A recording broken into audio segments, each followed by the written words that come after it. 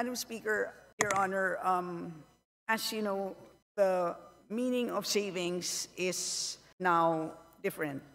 Uh, today, it now refers to balances of any released appropriations which have not been obligated as a result of any of the following. A, completion, final discontinuance, abandonment of a program, or, or B, implementation of measures resulting in improved systems and efficiencies, etc. Um, so today, in other words, hindi na siya kinocompute for all. Yun na ngayon ang practice ng DBM. Um, so if there is a number that you have in mind, um, for example, do you wish to know unutilized appropriations for the entire government? Is that what you wish to know? Madam Speaker, parang di naman po nagbabago yung definition ng overall savings. Yung savings naman talaga is as you said, yun ang definition ng savings natin. Um, at kaya nire-reflect yun kasi ito yung mga hindi nagagamit, like you said. And then nire-report kasi yun eh, and it's being transferred to other agencies. Ang sa akin, I'm looking for repertorial. They have to report it to us, just like before. For example, ang overall savings natin in 2020 is 3.5 billion. That's why it's also significant eh. And then for all those savings, nakalagay dyan kung saan tinransfer sa bawat agency. Pag sinabi mo kasing savings, transfers from. From each agency, natatransfer ang savings ng bawat isang ahensya, pupunta ngayon sa overall savings. And then yung overall savings, it's a transfer to. Madam Speaker, it can be provided, but they don't have the figures now. Ma- Madam Speaker, yun po yung point ko. Bakit nawawala yung report ng overall savings? Dapat nakikita po natin yon dito sa Kongreso kasi savings po yan na hindi na po alam ng Kongreso kung saan napupunta. And it's part of our obligation to know where these savings are. Saan nanggaling? Kasi that's where we see how efficient ang ating mga departments. So baka pwede pong isubmit sa atin today para makita po natin. Ang pagkakaiba, Madam Speaker, today is that the agencies themselves use th- their own savings.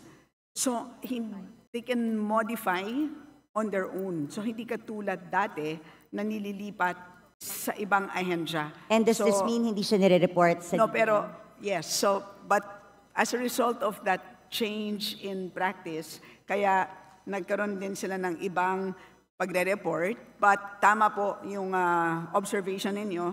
And I think that is a very important point. Hindi naman dahil nag-iba ng practice ay nawalan na sila ng responsibilidad na mag-report. So, because of that, they will submit the report on savings um, they will provide the report.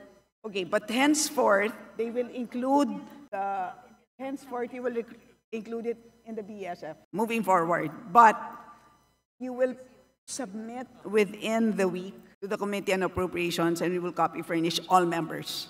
Yes, please, Madam Speaker, kasi napaka-importante po na alam natin how efficiently they're using. Napakadaling mag-declare ng savings kung bibigyan natin ng blanket authority ang departments to use the savings and use it whenever they want or augment something without passing through Congress. E di, i-bloat na lang palagi yung bidding, yung ABC. Tapos magdadive. You know, this is not acceptable, should not be acceptable to us. That's why we need those reports. Kaya sana po, within the week, or sana nga within the day or hanggang tomorrow para naman po mapag-aralan, Madam Speaker. Anyway, uh, my next question refers to, dito na ako sa, alam naman ni Madam Sponsor ito, yung tungkol sa earmarked revenues. Um, Madam Speaker, sa pagkakaintindi, can you define earmarked revenues through you, Madam Speaker? Earmarked revenues, Madam Speaker, are identified revenues required by law to be used for designated activities, benefits, or purposes which can be either classified as use of income or special account in the general fund or SAGF. Nung pong nag-interpolate ah, tayo, sinabi po sa akin that the cash isn't available because the cash is being used. Madam Speaker, Madam Sponsor, tama po ba na pwedeng gamitin ang earmark revenues ng national government wherever it pleases? Yun ang practice po ng ah, natin. But let me explain. Madam Speaker, yung tanong ko po, hindi kung practice siya or hindi. Tama po ba na ginagamit natin ang earmarked revenues for other things other than specified in the law?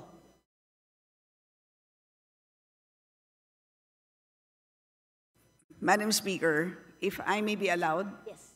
parang po siyang, if I may use a comparison, parang pong kung tayo po ay nagde-deposito sa isang bangko, nagdeposito tayo ng isang daang piso, iniwan natin sa bangko yung ating 100 pesos. Habang hindi natin kailangan yung 100 pesos na yan, ini-invest ng bangko yung 100 pesos na yan.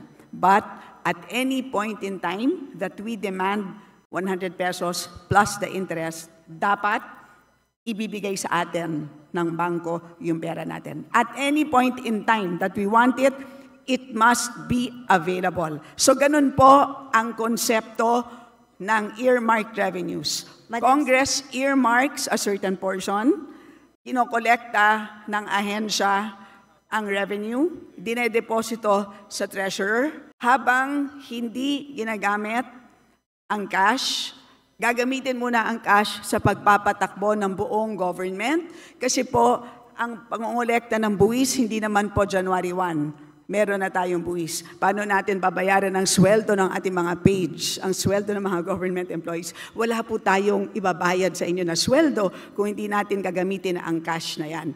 Pero at any point in time that an agency demands those earmarked revenues, the Treasury must be able to make those funds available. Ganyan po ang ibig sabihin ng earmarked revenues. Madam Speaker, saan po nakasulat na ganun ang ibig sabihin ng earmark revenues?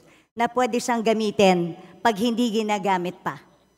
Kasi malinaw naman po, earmarked accounts and funds are not, sorry, the legal basis of an earmarked revenue could be a law, a presidential decree, or international agreement. Bawat earmarked revenue may batas. At walang blanket authority doon na sinasabing pwede mo munang gamitin habang hindi ginagamit ng agency. Gusto ko lang po makahanap ng legal basis. Mula umpisa, asan po ang legal basis na sinasabing pwedeng gamitin ang pondo na in-earmark natin for another thing kasi yung cash naman hindi pa ginagamit ng ahensya. So hiramin ko muna. Eh paano kung hindi ko na maibalik? Paano kung hindi na tayo makautang?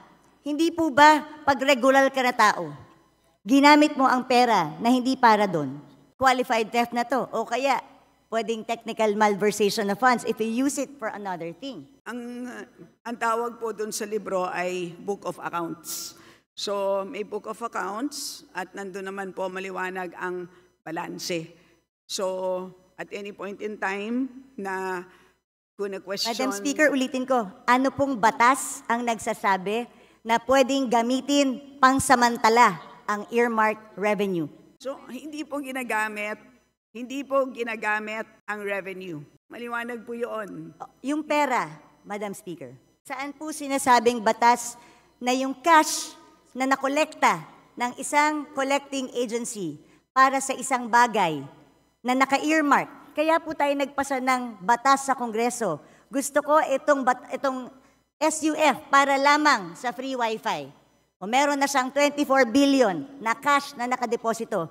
Pero sabi nga, yung cash na to nawawala na kasi ginagamit siya habang hindi pa ginagamit ng free wifi. Hindi ko po talaga masettle sa utak ko kung paano pwedeng, kung ano, yun lang naman tinatanong ko, ano po bang batas ang nagsasabi? Yung cash na para sa free wifi, pwede munang hiramin ng national government para gastusin sa ibang bagay nang hindi nagpapaalam sa tamang or walang proper documentation. Madam Speaker, una sa lahat, napag-usapan na natin ito at maliwanag naman na at any point in time na kailangan na ng uh, DICT ng additional funds para sa free wifi, they may request. Madam Speaker. Maliwanag po yun at katulad din doon Madam sa Speaker. fire trucks. So lahat po yun ay pwede. So, yun ang sistema po ng um, paggamit ng accounts sa special accounts in the general fund. Ganun po ang sistema. Pero kung merong, meron pong legal question ang ating kagalang-galang na BH Herrera, nandito naman po ang DOJ, judiciary, pwede po siyang magtanong ng, ng legal opinion, ng opinion mula sa DOJ because that is really beyond us. Hindi po ako makakabigay, hindi po kami makakapagbigay ng isang legal opinion. Ah, yun ay pwedeng hingin sa DOJ, Madam Speaker. Madam Speaker, Your we, Honor. ha- we, are, we are the power of the purse here. Tayo po ang nagpasa ng batas. Yung pera na in-earmark natin, mahirap po na ginagamit, tapos pag kailangan na, sasabihin mo, pag kailangan na, nandyan. Paano kung wala? Hindi ba ganun yung mga estafa cases? Hindi ba ganun yung mga pyramiding scams? Na pagka umutang ka ng pera, for such a, di ba, tapos biglang pag kailangan na, hindi mo na makuha. Pwede mo i-demanda yung taong yun. Ang sinasabi mo kasi, at any given time, ang defense mo is at any given time, pwedeng hingin ng free wifi yung budget. Eh, paano kung walang pera ang gobyerno? Sa akin, hindi yung it's readily available. That's not the point. Ang punto dito, pwede bang gamitin para sa ibang bagay ang cash na inalat ng Kongreso para sa isang particular na bagay? Hindi po excuse yung sasabihin natin, available naman pag gusto ng ahensya eh. Anong difference nito doon sa DAP? Well, ang tawag po dito, Madam Speaker, ang tawag po dito ay cash management by the national government and this is under Executive Order number 449. Yan po ang ah, mandato ng ating National Treasury. So, kung ah, meron pong um, legal question na gustong pang ah, talakayin ang ating kagalang-galang na B.H. Herrera, ay pwede naman niyang itanong sa Supreme Court kung ah, gusto niyang kung ma- gusto niyang talakayin pa ito. But as far as we are concerned, at any point in time na hihingin ng ahensya ang earmarked revenues na yan, dahil maliwanag po, mas maliwanag pa sa alas 8 ng umaga, ang balanse nila, ay demandable po yan. Madam Speaker, hingin nga po maliwanag sa tirik ng araw yung balanse. Alam mo yun. Hindi maliwanag kung magkano ang balanse ng mga earmarked revenues dahil natatraffic sa Bureau of Treasury. You and I both, na, both know that. Natatraffic ang kanilang balanse sa Bureau of Treasury because nagagamit ang pera tapos naghihintay ngayon ng balancing or reconciliation. Madam Speaker, this is not a legal question. It is also a management of cash question. Dahil at the end of the day, nangungutang nga tayo dahil kulang yung pera natin eh. So paano kung biglang may magandang programa ang isang departamento? Can we assure them that there's cash? So bigla tayong mangut... You know, we earmark this certain... Ini-earmark natin ito sa bawat use niya. Kasi gusto nating i-make sure that the money is there at lagi siyang pwedeng gamitin. Tandaan natin, if yung humihiram ng pera ang may control kung anong ibibigay niya, then magdadamot ako ngayon sa pagbibigay kasi ginagamit ko eh. So they have the control eh. If you have the control, di ba? Kunwari ikaw ang may control ng pera, kung ano ang pwede mong gamitin at hindi. Tapos may humihinging ahensya sa'yo. Kung ginagamit mo yung pera, hindi ka magiging generous sa ahensya ibigay kahit mayroon silang tamang programa. Kasi you're making use of the cash available.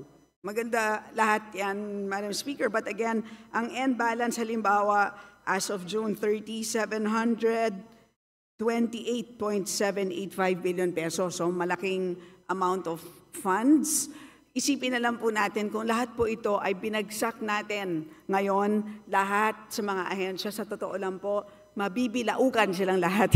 Hindi nila kayang ma-absorb lahat ito. So may ganun din na problema. So that is actually part of the mandate of our National Treasury, part of the, of the mandate of the DBM. Kailangan nilang i-manage yan. So they cannot just flood um, all of these agencies with cash. So yun po, that's, again, that's how we understand the cash management mandate of these agencies, um, Madam Speaker. Madam Speaker, cash management does not mean gagastusin mo yung pera pag hindi ginagamit. There's a difference, Madam Speaker. I, did na, I never said na i-flood natin ng agencies. I'm just simply saying you cannot use the money that's particularly earmarked for a certain project na sinaad natin sa batas. Pero again, I, don't, I did not say na i-flood natin sila. But I'm saying, tama po ba na ginagamit natin yung pera na sinet aside ng isang batas na hindi pwedeng gamitin. Malinaw po ang batas. Bawat, bawat section, andito po yan, makapal po yan eh. Ilan ang earmarked revenues natin. Nakaspecify doon, nandun lang siya pwedeng gamitin. So Very again, specific. Alam ko po yung sinasabi niyong one fund concept. Do you know the history of one fund concept when it started, Madam Speaker, Madam Sponsor? What is the question? Yung one fund concept, because yan po yung sanina sinasabi nyo na ito yung cash management, may one fund concept, na yun ang sinasabi ng DOF na doon ginagamit. Kaya balikan natin yung history ng one fund concept. Ano ba ang pinanggalingan ng one fund concept, Madam Speaker, Madam Sponsor? Well, please enlighten the body, Madam Speaker. Galing po yun sa Presidential Decree, ano, 17, Presidential Decree pa yon during the time of President Marcos. Na lahat ng dormant accounts, yung mga off-budget accounts, yung mga lying around funds, yun ang pinagsama-sama. Wala po dong nakasulat any mention of earmarked revenues. At since 1977 pa po yung Presidential Decree na yun. Hindi pa po na-amend or napalitan ng panibago. Ang sa akin naman, gusto ko lang ilagay sa tama Pwede naman nating lagyan sa special provision kung talagang gustong gamitin itong pondo na to. Pero ang tanong ko, hindi ba dapat natin malaman sa Kongreso kung para kung saan kailan hiniram yung 700 billion? Kunwari may 700 billion, anong portion ng 700 billion ang hiniram? Hiniram para sa anong bagay? Tama ba na walang report sa atin na hiniram yung perang to? Tama ba na hindi nag-report sa agency? Kunwari, ako si, D, ako si DICT. Ang alam ko, meron akong 24 billion. Tama ba na hindi magpapaalam sa kanila? Pwede bang hiramin namin ang cash na ito para magamit namin sa ibang bagay? So, Madam Speaker, again, babalik po ako dun sa aking analogy earlier. Ang bangko niyo po ba, tuwing ini-invest yung isang daang piso na dineposito ninyo, ay tinatawagan ba kayo para Ay, Madam Speaker, i-invest? kung ako So- po ay nag, hindi nag-authorize, pwede ko pong sabihin sa bangko, huwag niyong galawin itong certain portion na to. Because tandaan niyo, hindi mo pwedeng i-relate sa bangko to. Batas ito. May blanket kang pinirmahan sa bangko. Nung nagdeposito ka, alam mo na pwede niyong gamitin para invest. That's part of the contract you paid for when you opened the account. Pero ito, batas ito na pinasa natin na earmark ang certain fund for a certain thing. Wala tayong authority na binigay doon sa ating batas o habang may cash, habang hindi ginagamit, pwede nyo gamitin, national government, kung saan nyo gusto. Pag kinapos tayo, gamitin nyo na. O basta siguraduhin nyo, pagkakailangan ko na, ibalik nyo sa akin. But again, Madam Speaker, what is important is the balance. Paglilinaw lang po kung ano ang balanse ng bawat fund ay intact na intact po yan. Ah, napakahuhusay po ng ating mga empleyado sa ating treasury. Complete po yan. So lahat po ng mga dinadagdag po dyan, lahat ng binabawas, intact po ang balances. Um, nagkaka issue lang po because we have a ceiling at every point in time. Today, ang hinaharap natin na ceiling is 6.352 trillion pesos. Can you imagine, kung pinasok po natin itong 728 billion, mauubos yung 6.3 ng 728 billion ng in-earmark ng Kongreso. So paano po yung mga programa na gustong ipatupad ng ating national government? Yun ang mangyayari dito. How will our national government function kung lahat po ng ating earmarked revenues ay pinasok natin lahat doon sa ating total budget ceiling? So yun po ang napakahirap na trabaho ng ah, ating DBM or DBCC. So yun ang naging, um, ang ganda nga ng konsepto, di ba, ng cash management. So, that's what it is. So, in other words, when you deposit money sa bangko, yung the exact 100 pesos, serial number 0001, hindi naman yun yung the exact bill na isasoli sa'yo once you make a withdrawal. 'Di ba? Ang usapan lang natin ay nagde-deposit ako ng 100, at any point in time, you are entitled to 100 pesos, any serial amount, eh, any serial number, plus interest. di ba? Yun naman po ang binabantayan natin. Madam It's the Speaker. same concept that we are using for cash management under the National Treasury, Madam Speaker. Madam And to Speaker, remind so the the same, Herrera that you have three min- more Madam minutes. Speaker, with the same concept, paano yung mga nagsarang bangko? Dahil ginamit nila yung pera eh. Nag-overuse sila ng pera ng diniposito ko eh. So nung nag-withdraw ko, hindi na mabalik sa akin. Dahil nagsarado yung bangko eh. Like I said, Madam Speaker, again, I believe in the one fund concept, pero mag-amenda tayo ng batas. Isaayos natin. Ano ba sinasabi ko dito ever since all budget hearings? Sayang ang mga pondo sa earmark revenues, sayang ang mga pondo sa off-budget, sayang ang mga dormant accounts. Ilagay natin sa one fund concept, I agree. Pero let's pass a law. Let's amend the PD. Let's amend the presidential decree or magpasa tayo ng batas dito sa Kongreso if we really want to allow that. Yun lang po yung aking palaging sinasabi kasi right now, and mag-report sila sa atin sa Kongreso kung saan nila ginamit at kailan na hiniram yung pera. Madam Speaker, hindi na natin alam saan napunta yung pera na ginamit na yon. Oo, nandyan. Pero nung hiniram nila, para kang nagsabi sa any empleyado, o ito petty cash natin sa opisina. So ibig sabihin, kung meron akong petty cash dito sa opisina, kung merong mga ilangan sandali, ay hiramin ko lang sandali, ah, ibabalik ko naman eh. Pag nabuko mo yung empleyado mo, is it acceptable? Kung kunwari, nagbigay ka ng pera specific sa iyong staff, para dyan lang yan. Tapos siniram ng staff mo, hiramin ko lang naman eh, ibabalik ko rin ah. Is that okay? Does it make it okay? Madam Speaker, it, it is not the same situation.